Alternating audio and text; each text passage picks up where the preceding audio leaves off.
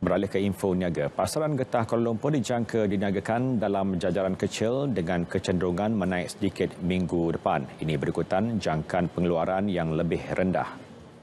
Bekas Presiden Persatuan Pengeluar Sarung Tangan Getah Malaysia, Dennis Lau memaklumkan aktiviti penambahan stok biasa akan berlaku dan minat terhadap lebih banyak pembelian stok getah bergantung kepada keadaan cuaca. Ini disebabkan hujan yang tidak menyeluruh dilaporkan di beberapa wilayah pengeluar getah dan ini akan mengurangkan produktiviti dan pengeluaran. Pada asas mingguan, harga fizikal rujukan Lembaga Getah Malaysia bagi getah mutu Malaysia 20 meningkat 5 sen.